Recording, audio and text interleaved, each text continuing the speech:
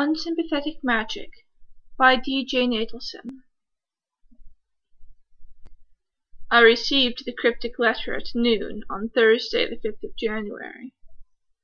This wasn't actually a big deal. People tend to get edgy in the heart of winter, and when people get edgy, they send insurance agencies cryptic letters. It's one of those things, like sending death threats to the weatherman when he announces freezing rain. This particular cryptic letter was the fifth, and least unpleasant, of its kind which I had received in the past forty-five minutes. This letter wasn't written in human blood or on dried human skin, and it wasn't reeking with the essence of pure evil, which is never a good sign. One always wonders where they got it, although it was brought to my window by a raven. Anyway, I took the letter and opened it, using the letter opener Stein had given me after a rash of carnivorous envelopes. The letter opener, she told me, was jokingly shaped like a letter opener, which should give you a pretty good idea of Stein's sense of humor. As it so happened, this letter made no attempt to eat me. It read, Within the Haitian hospital upon the seventh floor, I call your kindly services until I need no more. New evidence has come to light concerning my fig tree. I want you here without delay. Review it all for me. And was signed Allie Hendworth. Hendworth. I recognized that name. I'd gotten a cryptic letter from a Cindy Hendworth last week, complaining in iambic pentameter that I denied a valid claim. I'd written her a polite reply, stating that I had not denied a valid claim, that there had, quite frankly, been nothing valid about the claim, but that I would be willing to review any new information. I hadn't expected to be taken up on it. Inform her I'll be over as soon as I can, I told the raven. Stein's office was right next to mine, and she kept her door open. I peered around the corner, careful to keep the Hendworth file out of sight. I was in luck. Stein's back was to me, and she was concentrating on her computer. Holding my breath, I tiptoed past her door and Ernest Wilkins, where are you going? Drat. I wheeled on her, disarming smile at the ready. I was just off for coffee. Is that a file in your hand? You were going to see a client without me again, weren't you? Not without you. You stay right there. I'll get my coat. Miss Stein popped out of sight and returned yelling the canary yellow coat I have grown to know and despise. Where are we going? The Haitian hospital. She looked blank. Uh, you know, built by people from Haiti. Still blank. The Jean-Jacques Dessalines Memorial Hospital. Is that Haitian? I thought it was French. You know, I've always wanted to visit Haiti, but with the food, culture, language, earthquakes, cholera, voodoo dolls. Culture, like I said. Really, Ernest, you should get out more. You should improve yourself. Get someone to fix that hair. And needless to say, it was an awfully long drive to the hospital. When we arrived at last, Allie Hendworth was waiting for us in her room on the seventh floor. She was young, younger than I, anyway, and had the unpleasant look of a tanned, fit person who has suddenly become very ill. Looking at her, I was reminded of blood loss victims, people who had come in contact with blood-sucking ghosts, vampires, or spirit leeches. I tried to remember if she had taken out a life insurance policy with us, remembered the file in my hand, and checked. Ah, now I remember the case. The life insurance policy was on a fig tree planted the year of her birth. Several weeks ago the tree was struck by lightning and withered from the roots up. The claim had been filed the very next day. On a fig tree. I ask you. You wrote in your letter that new evidence had come to light. I said after the preliminaries. But our policy is quite clear. Only sentient beings are eligible for life insurance. Your contract was made under false pretenses. That tree is dearer to me than family. And yet it is not your family. I'm sorry, ma'am, but unless you can provide some evidence that the tree was sentient, It was! Ma'am, I went out to visit the tree myself.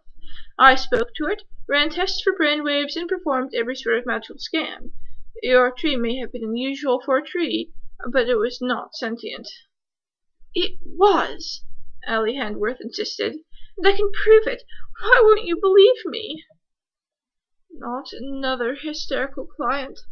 I do seem to attract them." I opened my mouth to say something truly sarcastic, when Miss Stein broke in. "We're just trying to understand," she said. "Why don't you tell us why you think your tree was sentient?" This notion seemed to please Miss Handworth. "Finally a sensible suggestion," she said. "It's like this. Whenever someone in my family is born, we plant a commemorative tree. My brother got an apple tree, my sister a cherry tree, and I, the youngest, a fig tree. Every year the fruit would ripen and would make pies and preserves and sauce, but it always seemed to me that my fig tree never produced as much fruit as the apple and cherry trees. This isn't really fig tree climate, you know. Now, one day while I was climbing my fig tree I slipped and broke my arm. While I was lying there sobbing with pain, the bough broke and fell beside me. And the funny thing is, the bough had broken off in exactly the same place I had broken my arm. All of a sudden I was making connections. How the tree had begun to wither the month I got pneumonia so badly I had to be rushed to the hospital. The time I got chicken pox and the tree came out in reddish spots the way I never achieved anything worth while over the winter. Somehow, incredibly, the fig tree and I were connected." "Like a voodoo doll," I said, because I could never keep my mouth shut. "That wasn't funny, Ernie," said Miss Stein. I glared at her. I hate being called Ernie. "Anyway," said Miss Handworth, "I figured out that the way to stay healthy was to keep my tree healthy. I've always hated gardening, but I dedicated my life to it. I abandoned friends, family, and career, everything to keep my tree alive. But it was too late. That autumn's harvest was the last time my tree grew figs, and even those never ripened properly. I worked my fingers to the bone, but I could never work hard enough. And then lightning struck. "Hmm, yes," I said. "And that's another interesting part of your story. You see, it's the middle of winter, and I checked according to the newspaper there hasn't been a thunderstorm since August. So how "We live next door to a necromancer," Miss Hendworth said shortly. "It happens." I double checked her file. "It looks like your contract does cover necromantic activity, if you can prove the tree was sentient." "It is! It's connected to me." "Then why haven't you prosecuted the necromancer for attempted murder?" Miss Handworth actually stopped and considered this for a moment. "Can I do that?" "If you think he was trying to kill you." "Me? Oh, no, he didn't know about me. But the tree, I could charge him with that. How dare he kill my tree? Now that you bring it up I'm quite furious. He's a tree murderer." "Oh, wait a moment," I said hurriedly. That's not what I meant. Besides, killing a tree isn't a crime, unless the tree was sentient, of course, but I'm far from convinced on that point." "Haven't you been listening? The tree was sentient because I am sentient. We're tied together. Look at me. I'm in the hospital, dying, because that tree died." I stood, tucking her file under my arm. "I'm sorry, Miss Handworth, but voodoo dolls are only conduits. They are not themselves sentient." "It's not a voodoo doll." Objects of sympathetic magic, then." "How can you speak to me about sympathy?" Miss Handworth demanded, and dissolved into tears. I turned away. I hate watching women cry. It makes me want to shake them. Miss Stein rushed forward to hug Miss Handworth.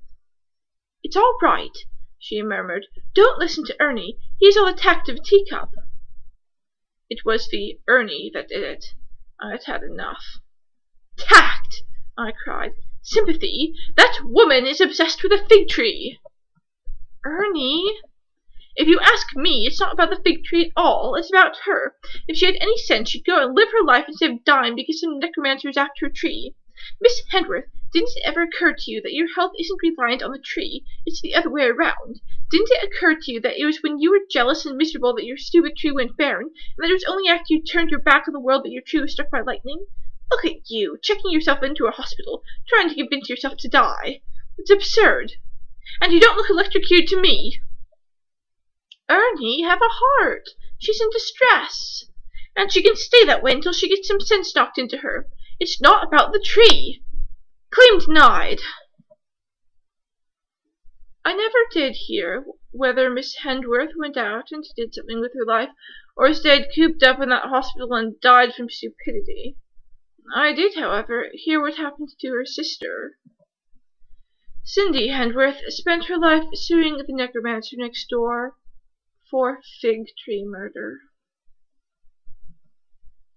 The end.